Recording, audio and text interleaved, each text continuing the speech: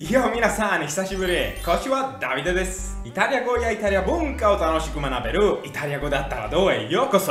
イタリア語やイタリアに興味があればぜひチャンネルに登録してくださいね。さあ今回は特別な動画になりますよ。なぜかっていうと日本に住んでるイタリア人にインタビューしたいと思います。さあ時間の無駄にせずにインタビュースタートしようぜ。はいこんにちはこんにちは。おお名前は？私はダビデです。いくつ？今32歳ですね。あ今どこに住んでるの？仙台に住んでます。日本の仙台ですね。大好きな仙台ですね。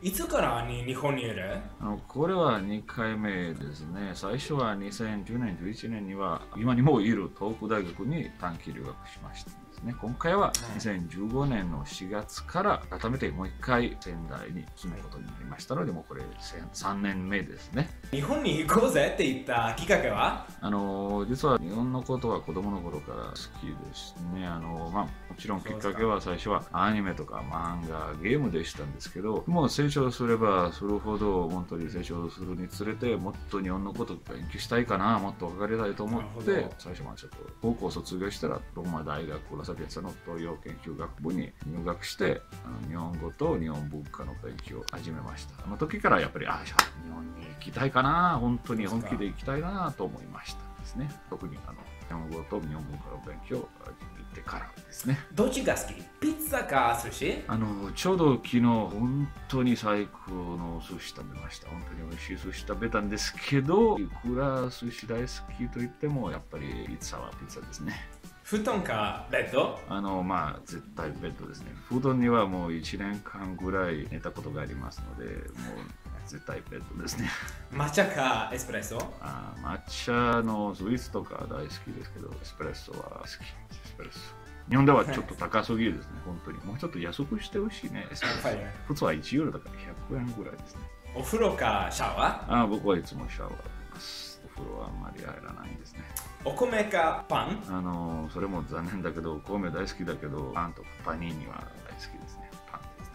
拍手かお辞儀？拍手の方がもっと直接にちょっと相手と直感できるからもっと親しみになりそうな気がしますでも日本にいる時は絶対必ずおじぎちゃんとやりますので失敗しないイタリアにいる時はもうちょっと混ぜちゃうからもう慣れてるので 復習しながらちょっとおじぎすることもあるんですね。ワインか日本酒？あれはワイン大好きだけど最近はやっぱり日本酒大好きになったのでもうそしてどんどん日本酒の質とかちょっと違さがどんどん分かるようになりましたので、やっぱり最近は日本酒の方が好きですね特にあの特別純米大吟醸ね。辛口の日本酒は大好き。そして今仙台に住んでるからこそ宮城県うん。仙台のあたりとかの日本酒はすごく美味しいのでやっぱりワインいいけどまあ最近の酒ですね。もっと飲みやすいと思います日本でどんな仕事してる？今、日本の文部科学省の奨学金で生活してます。けども、そのためには、まあ、大学留学生とか大学生とも言えるんだけど、一応ちょっと日本の政府から奨学金もらって生活してるので、本当に日本の政府に、日本の文科省に、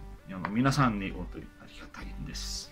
でもね日本に引っ越しする前にどんな仕事してた？まあ、いろいろやりましたね。あの、日本からイタリアへ訳も、イタリア語から日本語へのうん。通訳とか翻訳してたし、日本語の教師もしてたし、ちょっとアテンドとかのちょっとガイドじゃなくて、でもちょっとイタリアだとローマをみんなに案内してた。んですね。ということをやってました、とりあえず。日本の労働環境はそんなに大変なの？あの自分はまだ一応大学の環境なので、そういうことよくわからないと自分の経験からは言えないんですけどまあいろいろな話友達とか知り合いの話聞いたらやっぱりかなり大変そうですけどでも自分まだ経験したことないのでまだよく言えないんですね。結婚してる？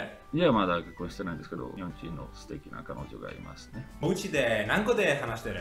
いやあの彼女と絶対日本語で話しますね。でもちょっとイタリア語も教えてるし彼女にもそして彼女も勉強してるならたまにイタリア語も混ぜてるけどほとんどは日本語ですね。生まれた地域の方言で何か言ってください。Dai, e sì, se becchiamo. 今住んでる地域の方言で？Gambappe, めんこいね。たまにはイタリアに帰る？そうですね、あの、最近、あの、クリスマス休み過ごしに行きましたね。1年間に1回ぐらい。帰りたいなって思わせることは何？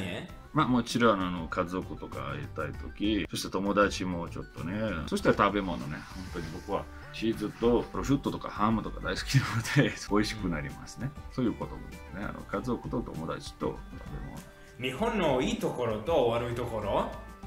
これは難しいですね。あの日本のいいところは、すごく文化は面白くて、文化といったらやっぱり言葉と食文化とか、ちょっと歴史はすごく面白いと思います。そしてやっぱりみんな、日本ならもうやっぱり、なんといえば、みんな規則を守ったり、ちゃんとなんか社会とかなんとかあるレベルではちょっと完璧に動いてるから、やっぱりあんまり困るところはないんですね。悪いところは逆にそういうみんな規則を守ることは逆にいいことだし悪いことでもあるね。やっぱり規則とか守りすぎて、そして言言われたこと、教えられたことにちょっとぴったり行動しすぎたり、そうですか逆にちょっと困るところもあります。ちょっとイタリア人としてもちょっと状態によって行動したり、状態に応じてあの行動することがよくあるので、逆に日本にはたまにちょっとオープンマインドではないことところが多いですね。一つのちょっと嫌なところは、英語人としては日本に住むためのビザを取るのがいかにも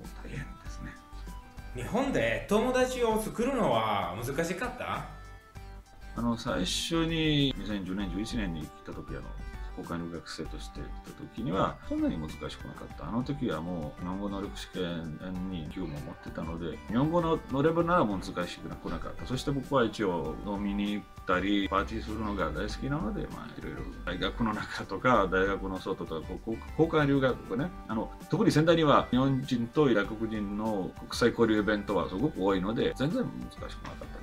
日本で一番恥ずかしいなって思った時は？まあいろいろありましたけど、あの初めてちょっと1ヶ月はちょっと日本にも来て、ちょっと友達と日本語学校通った時、友達とあの飲み会の約束がありましたね。でも僕はまだ飲み会とか、そういうシステムわからなかったんですね。日本ではやっぱり2時間。